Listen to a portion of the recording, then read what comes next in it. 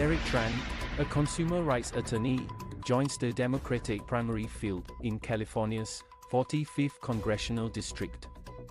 Derek Tran, a consumer rights lawyer and U.S. Army veteran, announced Monday that he is seeking the Democratic nomination in California's 45th congressional district.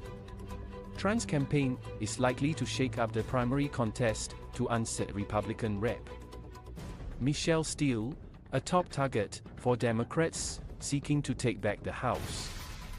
Her Orange County-centric district is one of just a handful of GOP-held House seats, where President Joe Biden won in 2020.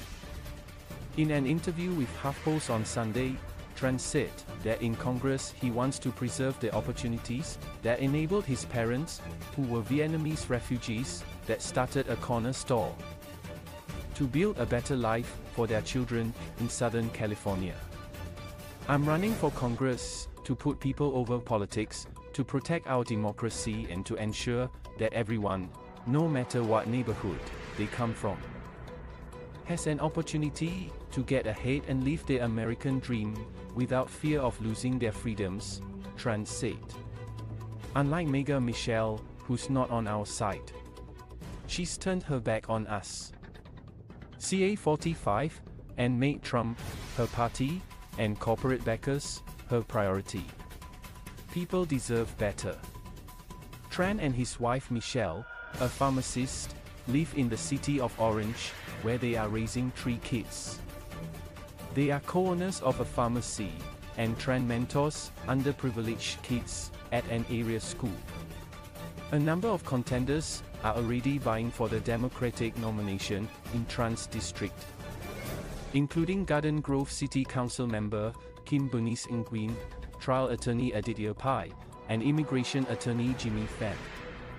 But as of the end of June, none of them had raised a significant sum of money. Tran, by contrast, is a significant donor and fundraiser who can tap into a network of fellow trial attorneys. He serves on the board of the Consumer Attorneys of California. Tran stands to benefit from his roots in the Vietnamese American community. In a district that is more than one-third Asian American or Pacific Islander, 17% of residents are of Vietnamese descent. My family's story and sacrifice resonates with a lot of people here, he said. My service, my record of service, and my work as a consumer rights advocate and attorney will also resonate with voters here. Tran characterizes himself as someone with a moderate approach to policymaking who would have no problem collaborating with Republicans to advance policy goals. He envisions himself joining the new Democrat coalition, a business-friendly bloc of House Democrats. Tran is passionate about preserving safety net programs, having learned firsthand how helpful they can be. As a child, he recalls his family benefiting from Supplemental Nutrition Assistance Program SNAP. The Special Supplemental Nutrition Program for Women, Infants, and Children WIC, and Section 8 housing vouchers. These programs lift people up. I'm a prime example of that. He said. It's important that people work hard and sacrifice, but it's important they have these opportunities.